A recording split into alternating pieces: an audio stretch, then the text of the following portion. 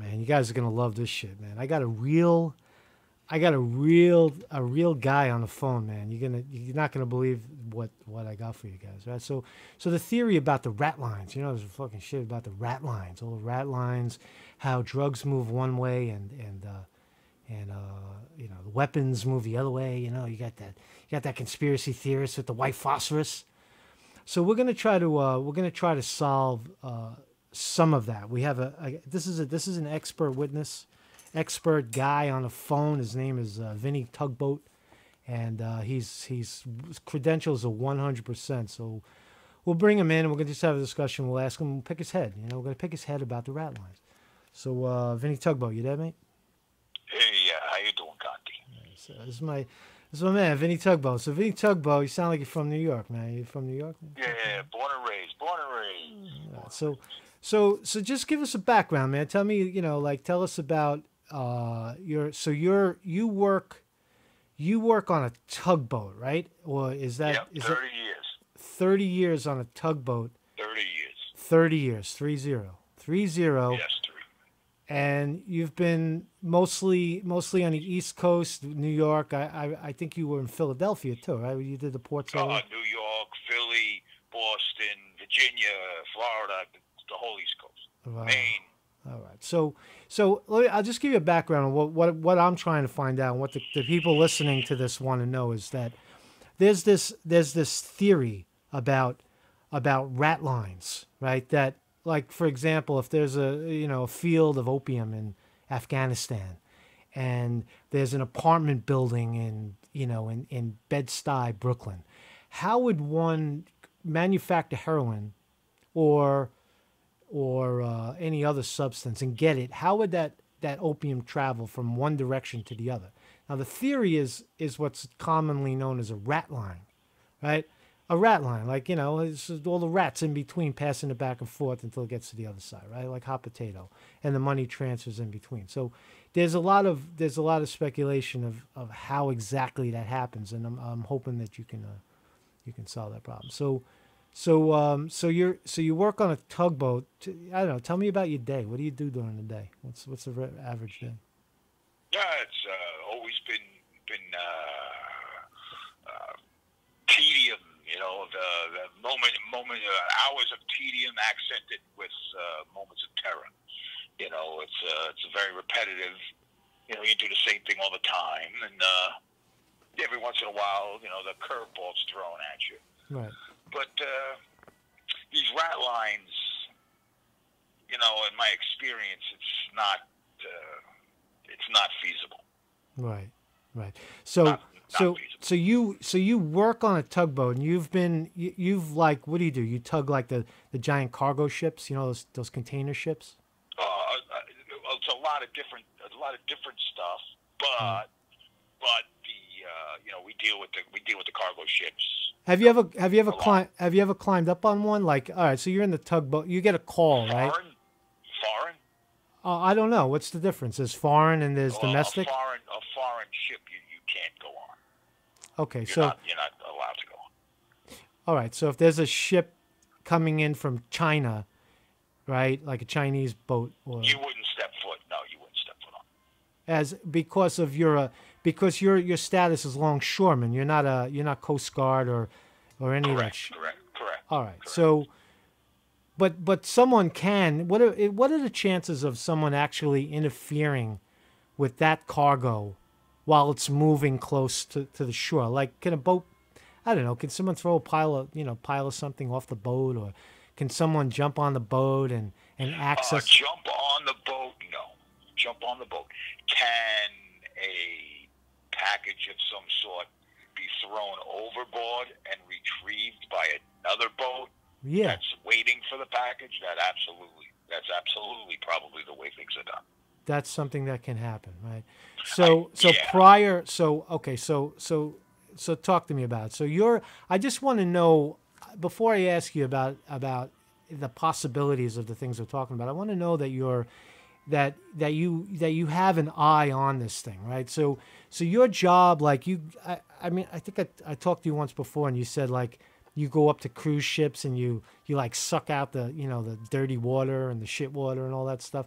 you do all kinds of chores on the open Correct. in in the harbor, Correct. right? Right. Correct. What else? What else do you do? What other kind of things? You ever do you have a fish off the side of a boat? Oh, you, know, you do that sometimes. You know. So, you know, there's a lot of boring. There's a lot of boring. There's a lot of Repetition. Uh, Hmm. A lot of repetition, a lot of bore, a lot of time where you're just going from point A to point B. Right. So you know, yeah, there, there's some fishing. You know, Hmm. in the old days there used to be some drinking, but they've they've kind of curbed on that. Right. No, no, no gay. There's a rumor of gay sailors. You're not a gay sailor. No, no, no, no, no, no, no village people, no village people, nothing like that. No Not hookers? that there's anything wrong with, not that there's anything No, no, of course it, not. You know, but just not my experience. Uh, no, no hookers. No hookers on the boat. Uh, it's not on the boat. That's usually frowned upon, but I'm sure Okay. guys have gone up the street and uh, spent a couple So- of bucks. So you guys, so you live uh, in the course of a day. You're on the boat the whole time, right? Listening to 24 hours. 24 hours on the on the tugboat. Uh, the the the shifts run from 14 days on, 14 days off, all the way to 90 days on, 90 days off. You could be on the boat for you know a long time. So you guys cook, you sleep, you Yes. eat. Cook, sleep, eat. They're your extended family. How many how many guys on a boat? Uh, it varies, but usually five. Like five people on a boat. So all right, so you're out there on the you're out there in the harbor, right? And you get a call, and it's a cargo ship, and it's stuck 10 miles off of Coney Island, right?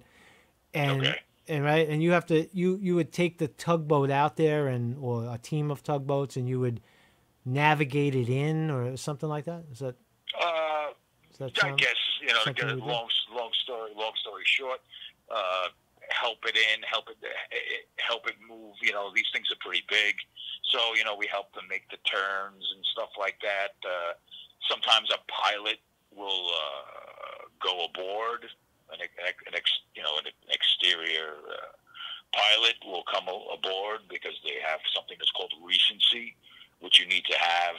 Recency is, you know, you know the, you know the the channel, you know the, you, you know, you know your way around the harbor, Okay. and obviously someone from, you know, you know, five thousand miles away that doesn't know where, you know, where it's safe to be and where it's not safe to be. So they'll hire a pilot that comes on board and and actually steers the ship or tells the wheelman of the ship which way he wants him to go, and they listen to him and will be alongside, helping them along the way. Gotcha, man. So, so you made a distinction between, I guess, domestic boat and a foreign boat, right? There's two different types, two different calibers of cargo ship, right? Right. So, so a domestic boat isn't subjected to customs, right? So they can just come in and and that's that's like a lower a lower Well, standard. or- because of the be- because of the Jones Act, right. the Jones Act to protect uh, American shipping, Right. a foreign ship cannot go from port to port and deliver Okay. goods. Okay. They can come to one port, deliver their goods, and then the American ships would take over and move it from point A to point B to point C to point D to point E. All right. So I guess what we're we're talking about is the foreign the foreign ship coming in because that's really what the game is, right? It's the foreign ship. If we are to to talk about a rat line and and you know uh, 500 pounds of heroin coming in, uh, or or more, or or some some sort of contraband coming in, or or a pile of uh, you know weapons going out, we would be talking about a foreign ship. So let's let's stay there. So a foreign ship comes into the port. Use I don't know port of Newark for example, right? And a big old ship with how many cargo ships are on? How many containers are on one of those boats? When you see it loaded up like that, hundreds and hundreds. hundreds and hundreds. Wow. So so that big boat comes in. It comes into the harbor. Say it's coming from Middle East, right? And Yes. it's coming from the Middle East, and it's there. It is, and you're saying that 10, 15 miles offshore, people could chuck stuff off of that boat, and they, you know, and another boat can get on side of it, and that could go undetected by the Coast Guard or the military. The- yeah, theoretically, theoretically, yes. In Depending on okay. the scope, on the scope of things, yes. So, so the boat now the boat's under the Verrazano Bridge, right? It's coming into Port of Newark, right? It's cu- cu- cruising up the harbor. Now there's a lot of eyeballs on it. The NYPD boats are floating around, right? So that's that's less likely. Now the boat, Absolutely. That's le- less likely, right? So the boat enters. That boat, because it's foreign, is off limits to the Coast Guard as well. No, no, the Coast Guard they can go wherever they want. Coast Guard can go wherever they want. Military, pol- NYPD can board a, a boat like that, or you know, local local authority. Uh, no, I don't believe so. Okay, so the boat is now sailing into the, is cruising into the, the port of Newark, right? And now it's going to enter customs, right? It's gonna it's gonna go into a, an area, a controlled area of some sort, right? It would have to, right? Correct. Okay, so have you so have you ever seen that, or you ever been around it? Is it is it safe to say that you would have you would know what goes on in a scene like that, or at least heard people talking about it? Yes, absolutely. Right, so you know what you're talking about. You know what you're seeing. All right, so now I want to I want to bring in a, a like a subject. Have you ever heard of something called a diplomatic container? Right? Ever heard of that? No. Never heard of a diplomatic container. Something that would be diplomatic, meaning like a diplomatic envelope, where a guy, like a diplomat, never heard of it in 30 years on the job. Never heard of diplomatic. Never. Okay. Have you ever heard the expression rat line in 30 years? Oh, I've heard the expression rat line, but not used in this in this way. How how have you heard it? We'll, we'll come back to this. Uh, the only the only context I have of rat lines is after World War II. There were rat lines that got uh, Nazi criminals from Europe to South America. so a human traffic rat line, Right. right? Because there is speculation that there's children like pedophilia rat lines, but uh, I I mean, what's the ch- okay? That's a good question. What's the chances of one of those cargo ships being a uh, you know a, a, low grade hotel or motel room where you know you could stuff ten bodies in there and they could last for thirty days? Is that even is that even is that wild idea that it, there could be human trafficking in those cargo ships? I think I think long I think well not long ago. I mean, you know, 25 years ago probably. Today, Right. not so much. No. Okay, so so a ship comes in. Let's go back to the uh, let's go back to customs. A ship comes in, and let's just say that nobody met it offshore, right? Because that's that's right out in the open, right? There is no every everything on a foreign ship coming into a, a U.S. port is subject to customs, correct? Scrutinized. Scrutinized. How how much so? Like every box, every every piece of fucking. I'm, I'm sure every box that comes off is scrutinized. Every, and because of this day and age, there's probably things we don't even see. Right. And You who's know, doing? nobody's mm-hmm. nobody's nobody's sneaking a nuclear bomb in a shipping container into New York City. Not going to happen. happening. That's not going to happen. happen. So anything radioactive, how how how far out ashore would they detect something that's that's nuclear? Would it get into I the port? I, couldn't venture to get. No, I don't believe they'd be able to get the port. I, I, I think I think ours there's there's things we don't know about Okay. that that that are so. Who Look, do you in 30 years? Look, if they, I, Mm, go you got to look at it like this, Mhm. Conte. Go ahead. You got to look at it like this. If they could have, they would have. Nah, good point. Okay, so So they and they can't. So they don't. right. You know, it's- it, it, Now, it- who- there's, there's right, no- who's behind who's behind that surveillance? Is it the NSA? Is it the military? Is it a combination of the of the both or all, all of the above? Okay, so they're they're operating. There's forces operating to, to prevent something like that, right?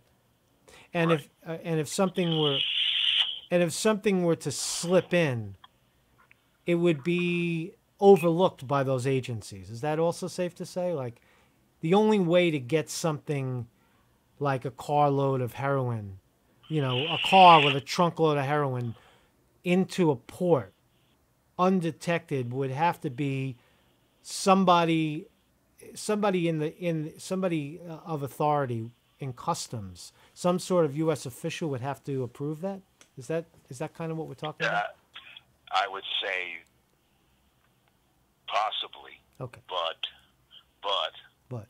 it's you got to understand the the, the the area. Got to understand the mentality. and You got to understand the situation. Right. It would be very difficult to keep that under a, under a wrap. It'd be very difficult. There's too many ice. There's too many people. Just just human nature jockeying for position. Right. You know, to, to, it's just not. It's not. It's not feasible. Not feasible. Not so feasible. so so there What is is feasible? Mhm. what is feasible is 25 miles offshore. gotcha. A ship throws something over the side, and then another boat comes and picks it up and brings it to a dock in a uh, a, a you know a private you know Yeah. yachting. Yeah, yeah. You said twenty. You said way. twenty-five miles. What's what's the international line? It's that that would be international water. Twenty mile. What's the? Yeah, you'd be you know you know in the middle of the night, 25 miles out there, a little boat. No one's you know No one's no gonna one's see gonna, it. no one's no one's gonna see something that way like like what were you saying? Mm, very interesting. 100, 100, 100 pounds of heroin. Right. Uh, I mean, and it have to be big enough to float. So you know, What about the? have Okay. What about the loading in on the other side? That's not subject to customs, right? That you could just people could just load that sh- that boat up or whatever they want on one side. in the other, you're talking about in the other countries. In the other countries, yeah. oh, well, God only knows. Who God only knows, right? That would be that's a that's a wild card. What goes? I mean, in go- another country. I mean, we're talking about we're talking about some countries where you know someone makes you know ten dollars a day. Right. Right. Of course. You know, someone walks up to that person that makes ten dollars a day and says, "I'm going to give you a hundred dollars a week." Right. Gotcha. You know, Uh huh. to to let my to let my truck unload into the ship. You know, Right. So. that's so- that's a lot of money. Okay, so gotcha, man. So so some some jerk on the other side could put in a couple of bags of something, some sort of cargo, some kind of waterproof cargo, and when they got 25 miles off the coast of New Jersey, they could fling it onto a boat, and if it's a smooth operation and they they know the waters and they know that how to navigate, that is a possibility that that that is something that could happen. Yes. But okay, That that obviously. That- that could I mean, I, happen. I believe I believe uh, I believe things have washed up on Right. the beaches over the years. I mean, if we dug back and read some, looked at some newspaper archives, we could find you know, we could find some bales of bales of uh, a leafy substance washing up on certain beaches of uh, the Right. New York uh, waterway. But what's 100% in your estimation is that there's no such thing as a cargo and diplomatic container. Not Whether in my experience. not not in your Never, experience never. This is the first I've ever heard of the term. in 30 years, and you've never seen any cargo eh, go unchecked by by. No, there's no way never. around customs. Never. No fucking way, right? Guns No drawn if somebody tries to do that, right? Guns drawn.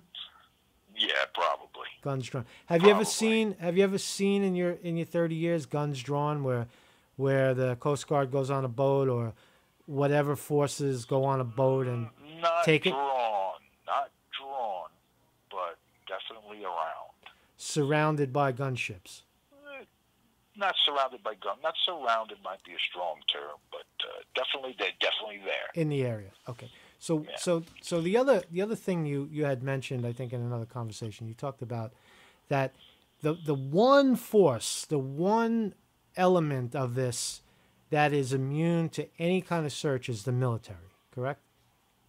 Well, higher up, higher up military, a military up military. ship with military cargo. Yeah, Not not they're, touchable. they're gonna police. They're gonna police themselves. They police themselves. So, so an army ship, army caliber ship, militarily marked, comes sailing. U.S. Navy, right? right. Navy comes in. Okay, the Navy comes, even on like Fleet Week, some some wacky shit like that. The Fleet Week.